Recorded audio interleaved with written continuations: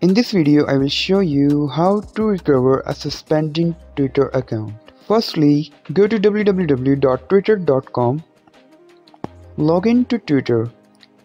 If your account has been suspended, you should see a message informing you that your account has been locked or that some features have been limited.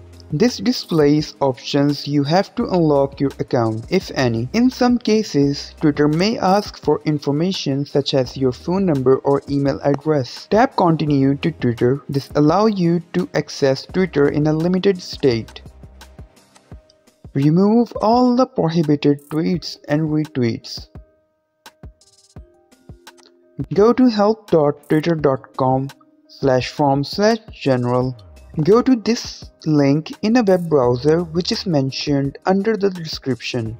Select an issue, use the drop down menu next to where are you experiencing this issue to select a reason that most closely fits the issue you are experiencing. Type a description of the problem, type your full name, verify your username and email address, enter a phone number if you wish.